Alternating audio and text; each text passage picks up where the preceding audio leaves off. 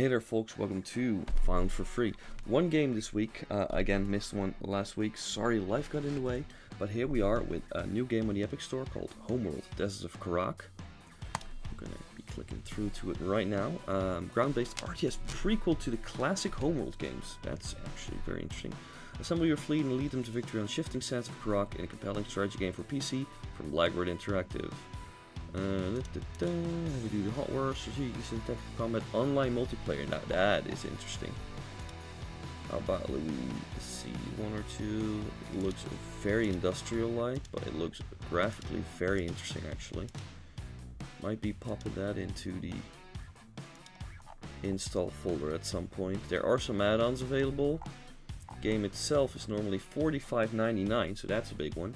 So if you enjoyed the uh, last uh, bundle of uh, Homeworld games you've gotten, make sure to get this one because it looks very good. There we go. Place order for the free game. Haha. so it's a, a, shorty. It's just one game. Um, I will be keeping you all up to date on the other ones, and uh, hope you enjoyed that one. See you later.